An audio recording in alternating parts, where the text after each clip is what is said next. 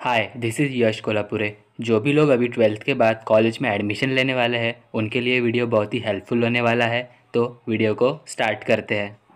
तो यार कॉलेज दो टाइप्स के होते हैं।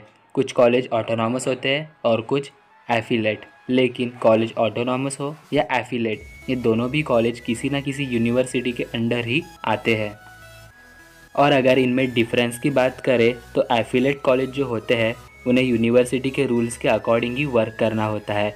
मीन्स यूनिवर्सिटी जो सिलेबस सेट करेंगी, वही सिलेबस कॉलेज को फॉलो करना होगा।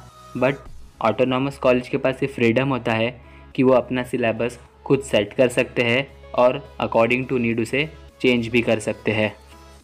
और अगर एग्ज़ाम्स की बात करें तो फॉर एग्ज़ाम्पल अगर किसी यूनिवर्सिटी के अंडर अगर 50 कॉलेजेस आते हैं तो उन सारे कॉलेजेस का सिलेबस तो सेम रहेगा, इसलिए उन सारे 50 कॉलेजेस में एग्ज़ाम पेपर्स भी सेम रहेंगे।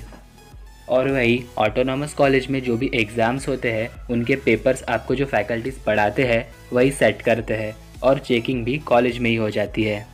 तो आपको रिज़ल्ट भी जल्दी मिल जाता है। इसके बाद अगर और कुछ बेनिफिट्स की बात करें तो ये जो ऑटोनॉमस कॉलेजेस होते हैं, ये बहुत ही रेप्यूटेड कॉलेजेस होते हैं, क्योंकि ये जो ऑटोनॉमस का टैग है वो कॉलेज को यूजीसी यूनिवर्सिटी ग्रैंड कमीशन की तरफ़ से मिलता है।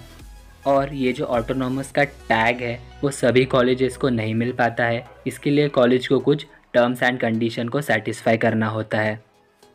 तो ये था कुछ बेसिक डिफरेंस ऑटोनॉमस और एफिलेट कॉलेजेस के बारे में। अगर आपको वीडियो अच्छा लगे तो वीडियो को लाइक शेयर और चैनल को सब्सक्राइब कर लेना, क्योंकि और भी कॉलेज रिलेटेड कंटेंट इस चैनल पर आने वाला है।